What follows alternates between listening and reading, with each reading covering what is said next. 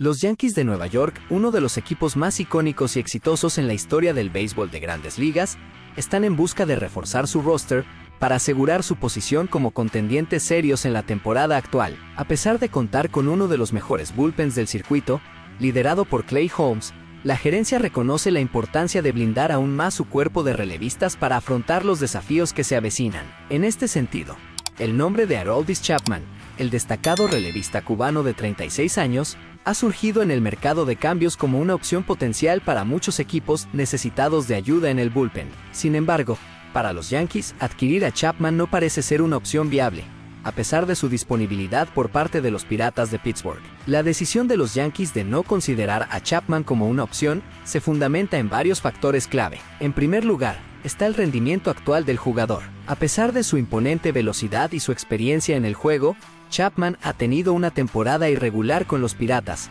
acumulando una efectividad de 4.30 en 19 apariciones, con 3 derrotas y un juego salvado. Además, sus enfrentamientos con el manager Aaron Boone y su salida conflictiva del equipo en 2022 han dejado una impresión negativa en la organización. El episodio de indisciplina que llevó a la salida de Chapman del equipo en 2022, junto con sus críticas posteriores contra la organización, ha generado desconfianza en su posible regreso a los Yankees. A pesar de su historial exitoso con el equipo, incluyendo siete temporadas destacadas, las circunstancias que rodearon su partida han dejado una marca difícil de ignorar. Aunque Chapman sigue siendo un lanzador talentoso con habilidades únicas en el montículo, su retorno a los Yankees parece poco probable en este momento. La gerencia del equipo está enfocada en encontrar otras opciones para reforzar su bullpen y asegurar su posición como contendientes en la carrera por el campeonato de la MLB. En resumen, mientras que Haroldis Chapman puede ser una opción atractiva para algunos equipos en busca de ayuda en el bullpen,